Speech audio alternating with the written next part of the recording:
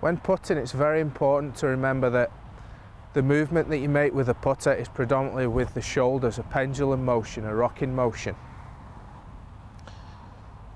What we see with a lot of amateur golfers, this alignment stick that I've put through the belt loops of my trousers here, is that when they make the putting stroke, there's far too much movement of the hips, which then creates miss hits and a poor stroke. To try and retain static hips when putting, try and keep them nice and still.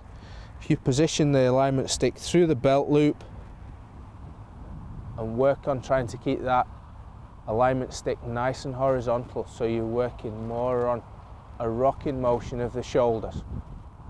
Try that and hopefully you'll get more consistent strikes and better results.